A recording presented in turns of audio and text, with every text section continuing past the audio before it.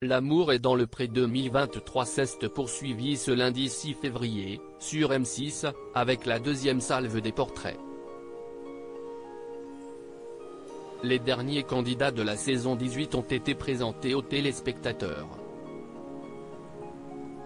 Une soirée durant laquelle les internautes ont une fois de plus beaucoup réagi sur les réseaux sociaux. Ce soir encore, les internautes étaient au rendez-vous sur Twitter pour commenter la nouvelle émission de L'amour est dans le pré 2023. Perrine était au cœur de toutes les discussions avec ses détails sur la vie sexuelle des escargots. Clément a quant à lui fait parler de lui pour sa maison un peu particulière et Jean-Paul, pour son côté moulin à parole mais ils ne sont pas les seuls à avoir attiré l'attention des internautes Charles a tout d'abord beaucoup ému avec son histoire personnelle très douloureuse.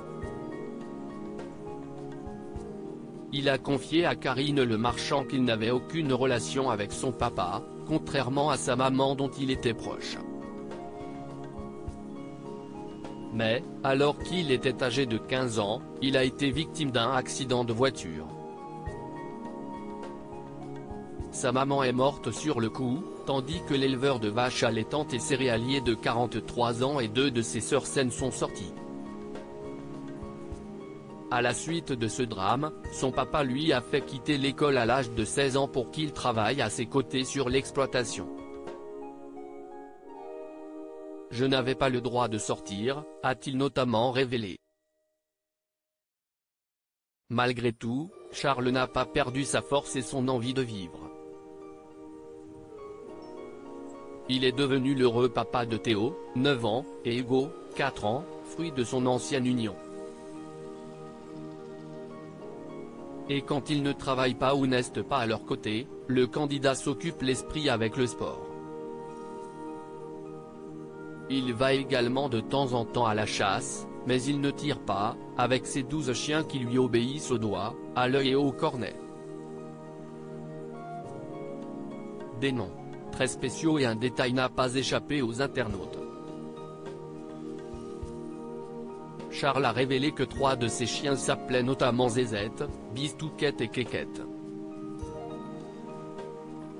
Je donne des noms comme ça à mes chiens, comme ça dans les Tokiwoki quand tu es à la chasse, ça fait rigoler. Ça fait de l'ambiance, a-t-il révélé. Nul doute que cela fait rire ses camarades, tout comme les twittos.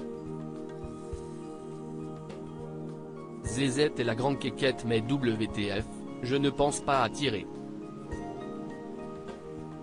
Le mec qui donne des noms de bites à ses chiens, je vais pas au bois pour tirer par le propriétaire des chiens Bistouquette, Kékette et Zigounette. Le nom des chiens, sérieux?